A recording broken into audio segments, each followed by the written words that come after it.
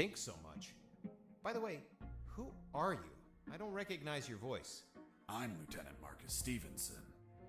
Lieutenant, you say? Sir, I apologize for my manners. I did not know your rank, sir.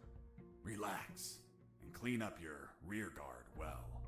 Sir, yes, sir.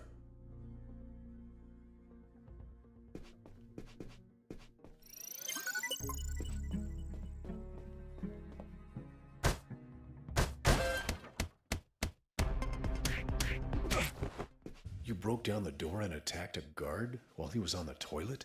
Yes, I beat the shit out of him. Is that a joke? No, I literally beat the shit out of him. That toilet paper wasn't unscented anymore. Let's move on.